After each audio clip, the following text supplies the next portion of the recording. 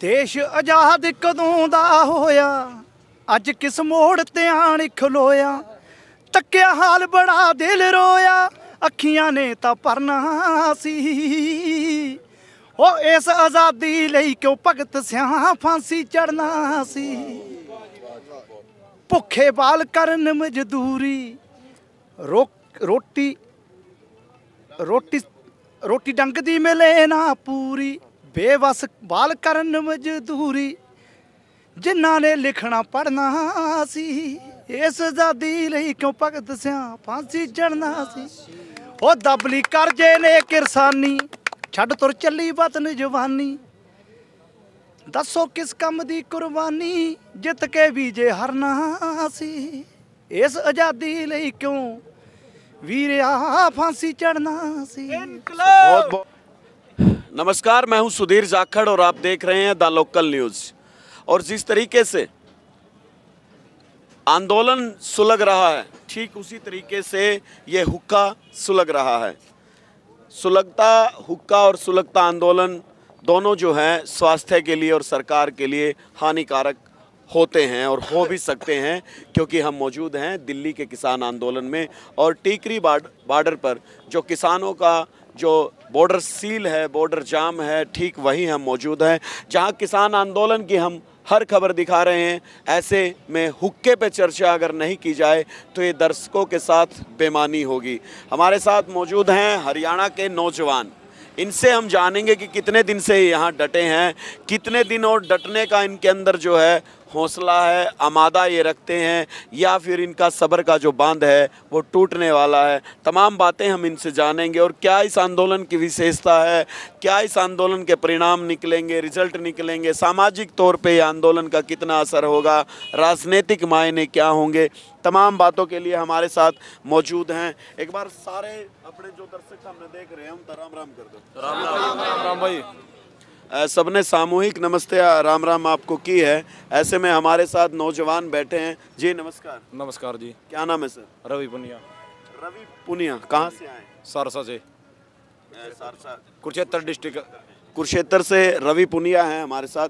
जो बातें मैंने अभी कही उनमें से क्या टिप्पणी करना चाहेंगे? हम हरियाणा वासियों को यही कहना चाहते हैं जो घरों के अंदर सोए अभी अभी जैसे मैंने कहा कि हम इनसे जानेंगे कि आंदोलन के लिए कितने दिन और यहाँ रुकने का आमादा है या फिर एक दो दिन में आपके सबर का बाँध टूट जाएगा, आप घर चले जाएँगे या फिर मजबूती के साथ डटे रहेंगे, वो मैं जानना चाहूँ जब तक ये तीनों काले कानून वापस नहीं हो गए, हम घर नहीं जाएँगे। हमारे पास सारी सुविधा है, लंगर की, चाय, पानी, गोसे, ओक्का सिलेगरा चौबीस घंटे, ये संसद भवन में जाएगा, ओक्का। ये दिल्ली के अंदर जाएगा, ये जैसे बोल रही थी सरकार की पराली का धुआँ आता है उससे ज़्यादा तो हरियाणा वाले का ओक्का का धुआँ जा चुके हैं वहाँ। और साथ साथ ओक्का के साथ साथ ओक्के का धुआँ भी वहाँ पहुँच चुका है और ओक्का को बजाने वाले चलकाने वाले सब पहुँच चुके हैं वहाँ पे। मैंने ये कहा कि कितने दिन आप यहाँ रुकने का हौसला रखते हैं या फिर सबर का बाँध टूटने वाला आप घर चले जाओगे या फिर लड़ाई लड़ेंगे? ये पूछा है मैंने। छः महीने तो कम से कम छः महीने का राशन पानी जब तक मतलब ये तीनों काले कानून वापस नहीं होगी साल की जगह छः महीने उससे ज़्यादा जी नमस्कार जी नमस्कार। नमस्कार क्या सर। नाम है जी? डॉक्टर दिलबाग मलिक। दिलबाग मलिक कहाँ से हैं? सारसा कुरुक्षेत्र डिस्ट्रिक्ट सारे सरसा के हैं? जी। एक ही गाँव के नहीं दूसरे गाँव। भी है भाई कुछ। संदोला से या पेवाल का से। क्या लग रहा है अभी जैसे सरकार के साथ बातचीत चल रही है नेताओं की जी। धड़कने अप डाउन आपकी हो रही होंगी कि आपके नेता आपके हक में फैसला करेंगे या फिर सरकार का दबाव मानेंगे क्या कहेंगे? बिल्कुल नहीं। हमारे नेता हमारे हक में फैसला लेके आएगा और सरकार को झुकना ही पड़ेगा। चाहे जब तक हमें चाहे जितना मर्ज़ी टाइम लगे हम यहाँ बैठे हैं।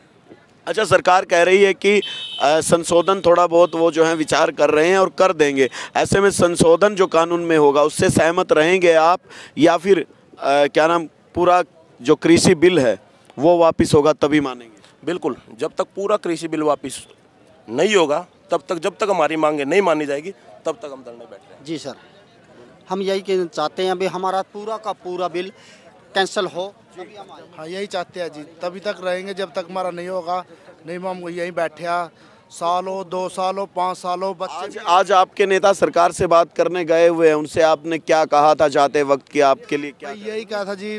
भाई हम जब तक अपना नहीं फैसला तब तक यही है हम हमारे बच्चे भी आएँगे शोर भी आएँगे लेडीज़ भी आएँगी सब कुछ यही है। हमारे लिए सब खाने पीने का नहाने का सब प्रबंध हमने कर रखा है। कई बार ऐसा होता है कि आंदोलन में कई बार जो जिनके लिए आंदोलन होता है वो कौम या फिर वो किसान या वो समाज जो भी आंदोलन करते हैं वो कई बार आंदोलनकारी जो लोग होते हैं वो अपने नेताओं पर दबाव बना देते हैं कि जी अब हम और हम रुक नहीं पाएँगे ऐसे में जैसे कैसे भी करके बीच बचाव का रास्ता निकाल के जो करना है कर लीजिए क्या? अब की बार ऐसा कुछ होगा कि नहीं नहीं नहीं जी। नहीं सर इस आंदोलन की सबसे बड़ी सक्सेस तो ये है कि पहले मंत्री मिलने से मना कर देते थे किसानों से। आज बार बार बुला रहे हैं चाय दे रहे हैं खाना दे रहे हैं लेकिन हम हम अपने तेवर पर अड़े हुए हैं। खाना अपना मंगा के खाया चाय अपनी मंगा के पी और जितना ये हमें तोड़ रहे हैं उतना हम जुड़ रहे हैं इसलिए इनके पेट में दर्द हो रहा है। तो ऐसे में आप संशोधन के पक्ष में या बिल वापस के पक्ष में? बिल वापस होगा जी। किसान नहीं टूट रहे वही नीचे आते जा रहे हैं कि हम संशोधन कर देंगे। पहले बिल्कुल मना कर रहे थे अब वही झुकते जा रहे हैं और वही झुकेंगे। नेताओं को डरा धमकाकर प्रेशर बनाकर या कुछ लालच देकर अगर दबाया गया तो ऐसे में क्या करेंगे किसान? अब वैसे होता है ये हमें मानना पड़ेगा और बहुत दुर्भाग्यपूर्ण भी है लेकिन अब की बार ऐसा नहीं होगा सबको विश्वास है और ऐसा नहीं सर अब पॉजिटिव सोच के चल लेंगे ना। किसान काफ़ी पॉजिटिव हैं जो अक्सर जो है नेगेटिविटी से ओत प्रोत भी रह जाते हैं सबर का बाँध टूट जाता है ऐसे में आप क्या कहेंगे सरकार?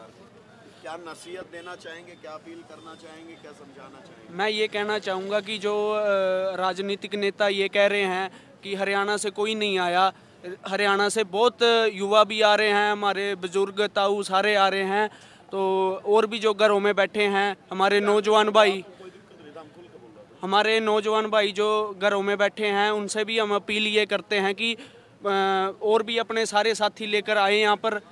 यहाँ पे सारी सुविधा हैं, हर चीज़ की सुविधा है किसी चीज़ की कोई कमी नहीं है और जो हमारे किसान भाई हैं, हरियाणा के, पंजाब के सारे जी।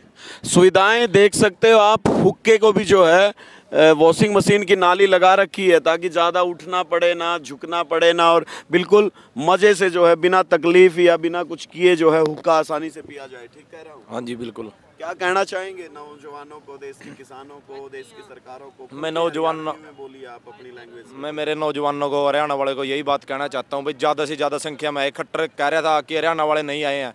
हरियाणा वाले दोनों बॉर्डरों पे हैं और हरियाणा में भी सिख हैं। मतलब कि वो लगता है कि उनको ये हरियाणा वाले नहीं है, वो हरियाणा वाले हैं।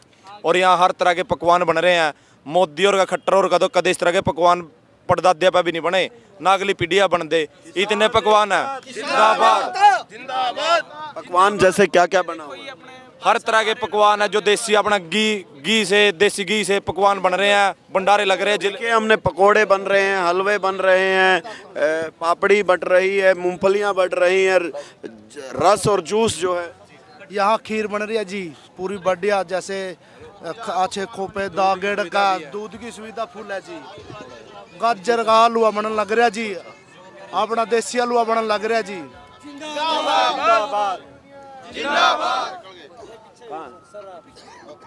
जी नमस्कार। नमस्कार जी। सर आज जी एक बार। नाम बोल दे हरजीत हरमन। हरजीत?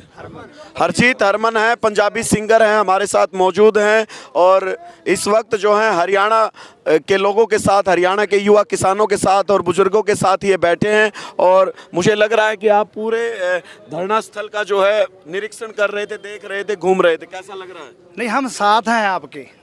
घूम नहीं रहे थे। हम जब से ये संघर्ष शुरू हुआ है अ, किसानी का अ, उसके साथ ही जुड़े हुए हैं। अ, आपको हरियाणा वालों को देख के मुझे बहुत खुशी हुई तो मेरा दिल किया कि मैं आपके पास दो मिनट बैठूं। अभी युवा बता रहे थे कि इस आंदोलन की वजह से हरियाणा और पंजाब की जो है भाईचारा और उनकी एकता जो है बहुत ज़्यादा बढ़ेगी इस आंदोलन से। आप कैसे देखते हैं हरियाणा पूरे के पूरे इंडिया की ही आपस में साँझ है। कोई किसी धर्म का हो किसी प्रांत का हो किसी जात का हो मगर ये तो पॉलिटिकल लोग हैं जो इनको तोड़ देते हैं। अब पता चला हरियाणा आपके साथ आपको जब ज़रूरत पड़ेगी तो पंजाब को आवाज़ मार देना तो आधे बोल पे आपके पास आएगा। ये तो सहयोग है एक दूसरे का। ये कि पंजाब के किसानों की प्रॉब्लम नहीं है ना ये तो पूरे इंडिया के किसानों की प्रॉब्लम है जो आज पंजाब और हरियाणा आगे होके लड़ रहा है। मैं गुजारिश करूँगा कोई भी किसान सुन रहा है तो किसी भी प्रांत का हो तो वो भी, भी इस संघर्ष में जल्दी से जल्दी शामिल हो। देश की सरकारों से क्या कहना चाहेंगे? सरकारों से क्या करें यही देखते आए हैं। सत्तर साल हो गया कितने हो गए आज़ाद हुए। सरकारों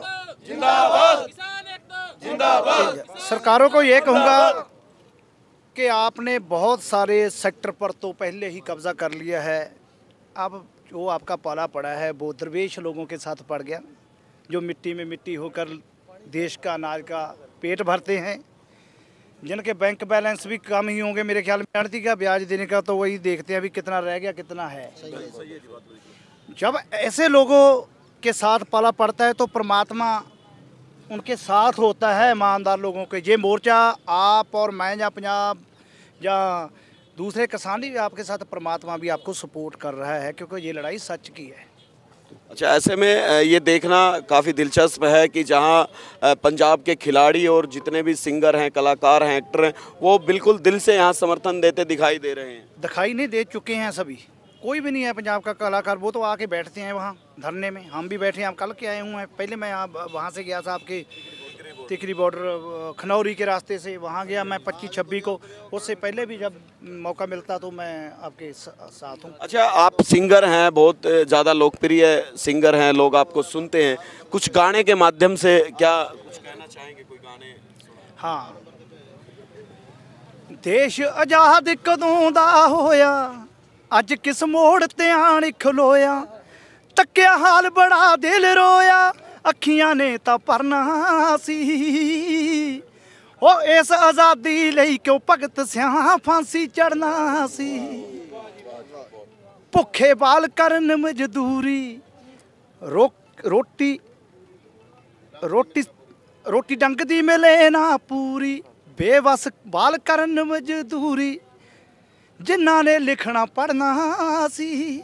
ਇਸ ਆਜ਼ਾਦੀ ਲਈ ਕਿਉਂ ਭਗਤ ਸਿਆਂ ਫਾਂਸੀ ਚੜਨਾ ਸੀ ਉਹ ਦਬਲੀ ਕਰਜੇ ਨੇ ਕਿਰਸਾਨੀ ਛੱਡ ਤੁਰ ਚੱਲੀ ਵਤਨ ਜਵਾਨੀ ਦੱਸੋ ਕਿਸ ਕੰਮ ਦੀ ਕੁਰਬਾਨੀ ਜਿੱਤ ਕੇ ਵੀ ਜੇ ਹਰਨਾ ਸੀ ਇਸ ਆਜ਼ਾਦੀ ਲਈ ਕਿਉਂ ਵੀਰਿਆ ਫਾਂਸੀ ਚੜਨਾ ਸੀ बहुत बहुत ये देखिए पंजाबी सिंगर हैं हरजीत हरमन आपके चैनल से माध्यम चैनल से चैनल के माध्यम से सभी हरियाणवी भाई हैं जो जो अभी घर से नहीं निकले हैं प्लीज़ निकलाओ अगर ये जंग हम हार गए तो मुड़ के दोबारा हमें लड़ने का मौका भी नहीं मिलेगा। थैंक यू ये हरजीत, हरमन जी थे और यहाँ इन्होंने किसानों के लिए बिल्कुल खुलकर समर्थन किया है और कहा है कि निश्चित तौर पर ये जीतेंगे और दिल से इनका समर्थन करते हैं। तमाम ऐसे किसानों की खबरों से संबंधित अपडेट पाने के लिए बने रहें द लोकल न्यूज़ के साथ। मैं आपका सुधीर जाखड़, धन्यवाद।